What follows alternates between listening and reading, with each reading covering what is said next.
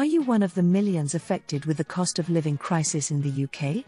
Follow our tips to help you through these tough times. Number 1 Budget.